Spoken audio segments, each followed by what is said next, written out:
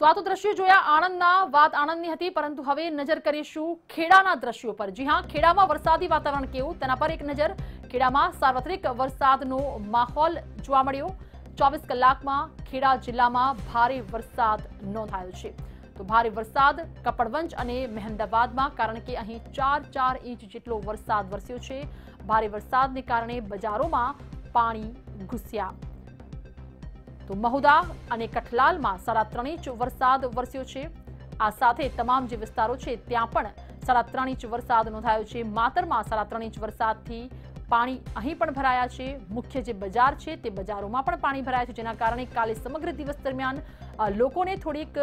અવર જવર કરવામાં કે પછી અ, રોજિંદા કામકાજમાં થોડી તકલીફ પડી પરંતુ મેઘરાજાની આ મહેરની સામે લોકોએ આ તકલીફને અવગણી કારણ કે રાહ જોવાતી હતી વરસાદની રાહ જોવાતી હતી મેઘરાજાની મહેરની અને તે જ પ્રકારનો વરસાદ અત્યારે ખેડામાં આણંદમાં તાપીમાં તમામ જગ્યાએ વરસી રહ્યો છે તો ખેડાના આ દ્રશ્યો